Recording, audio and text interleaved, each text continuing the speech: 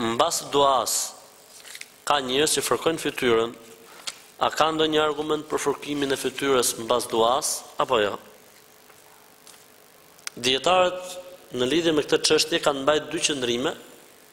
Një qëndrim që thotë hadithi i cili thotë se pejgamberi sasem i ka fshirë sytë mbas duas është hadith i sakt dhe ata që e bëjnë të sakt hadithin thonë që lejohet. Dhe prej tyre Ibn Haxher el Askalani, një prej dijetarëve më të mëdhenj të hadithit.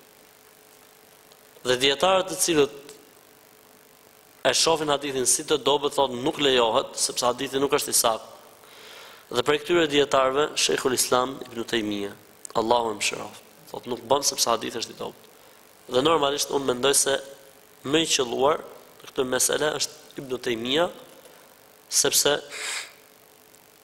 është vështirë domethënë Të ketë pas në histori, të ketë pas në historimin e Islamit, mbas katër dijetarëve të medhhebeve, njeri më të ditur në çështjet e fesë se sa Ibn Tejmija, Allahu e mëshiroftë, për këtë arsye kan pas thonë, qoftë se thotë Ibn Tejmija për një fjalë, për një hadith që nuk është hadith, mos u lodh me e kërku dhe me e gjet në librat e Islamit. Po tha ai nuk është, nuk është. Njeri i cili ka dëshmu ka dëshmuar për të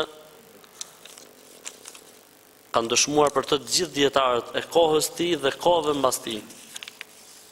Për këtë arsye shumë prej dijetarëve që kanë ardh mbas tij deklaronin se ky njeri nuk i takon shekullit në të cilin ka jetuar.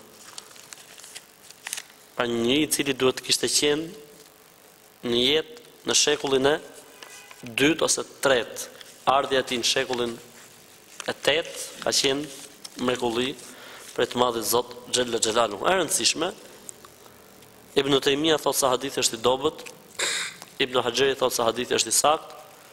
Ai që i qetësohet zemra dhe shpirti me njërin prej këtyre të dyve le të veprojë.